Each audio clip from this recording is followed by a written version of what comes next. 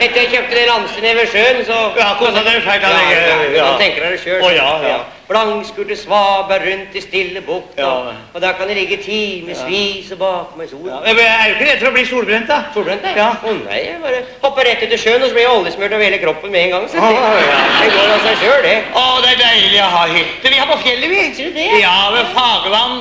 Paradis for unger. Leker på stranda. Er du redd for at ungene skal dette uti? Ja? Dette uti, nei. Ja. Nei, Fagervann er regulert og lagt i betongrør, den nå. Ja, vel. Ja. Men Jeg vil si det er noe eget ved hyttelivet. Oh, ja, ja, ja. Når jeg kan ta snekka for eksempel og tøffe utover fjorden Ja. og dorge inn sprellende blank feit makrell. Og sa, du- sa du makrell? Sprøstekt makrell med rømmesaus er det beste jeg vet. Ja.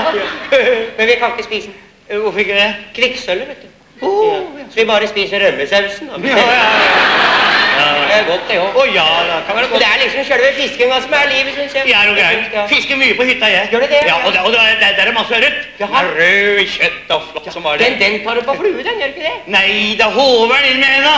Med henda? Ja, han flytter opp stein dau, den. Ja, det er, det er svovelsurt nedfall de kaller. Ja, det er det.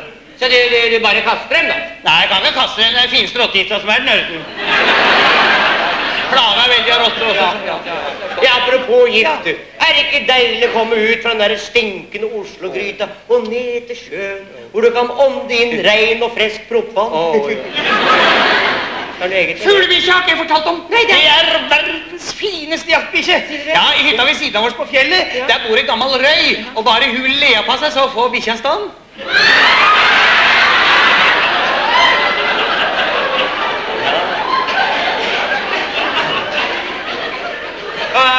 Hvor mye glede av den røya er bikkja, mener jeg.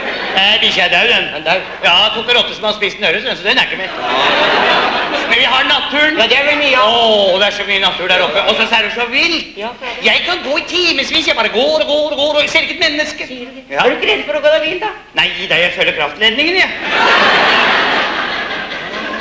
det Ja, Jeg vil si vi har det veldig godt. Å, ja, ja. Det eneste som irriterer meg, det er den forferdelige forsøpling av naturen. Ja. Det er grusomt å se oss når folk strør rundt seg med ølbokser, tomflasker, papir. Guds frie natur!